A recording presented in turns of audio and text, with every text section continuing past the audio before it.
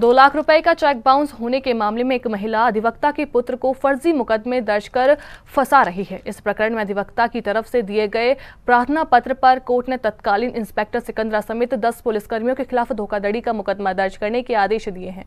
दो लाख रुपए का चेक बाउंस मामले में दर्ज कराए गए मुकदमे को वापस लेने का दबाव बनाया जा रहा था। अधिवक्ता का पुत्र इसके लिए तैयार नहीं हुआ तो फर्जी मुकदमा लिखवा कर फंसाया गया। दर्ज कराए गए मुकदमे में अधिवक्ता पुत्र ने जमानत करा ली थी, फिर भी सिकंदरा थाने की पुलिस ने गिरफ़्तार किया। सेक्टर आठ आवास विकास कॉलोनी जगदीशपुरा के रहने वाली मुनेश कुमारी ने अपने पिता अधिवक्ता राधा बल्लभ के माध्यम ऐसी स्पेशल जज, दस्यु प्रभावी कोर्ट में प्रार्थना पत्र दिया था। उसमें कहा गया की वादिया के पुत्र पारस राजपूत के खिलाफ शास्त्रीपुरम सिकंदरा की रहने वाली शिल्पी दुबे ने 4 जनवरी 2023 को घर में घुसकर छेड़छाड़ मारपीट का मुकदमा दर्ज कराया था। पारस ने उस मुकदमे में जमानत करा ली। शिल्पी दुबे ने फिर दरोगा राहुल कटियार, हेड कांस्टेबल सर्वेश यादव, महिला कांस्टेबल और अन्य चार पाँच सिपाहियों ने मिलकर एक और मुकदमा वादिया के पुत्र के खिलाफ घर में घुसकर मारपीट, छेड़छाड़, आईटी एक्ट थाना सिकंदरा में लगवा दिया था। उसमें भी वादिया के पुत्र ने जमानत करा ली थी। वादिया का कहना है की उसके पुत्र पारस ने दो लाख रूपए शिल्पी दुबे के पिता को 2016 में ऑटो खरीदने के लिए उधार दिए थे। बाद में शिल्पी दुबे के पिता ने चेक से भुगतान किया।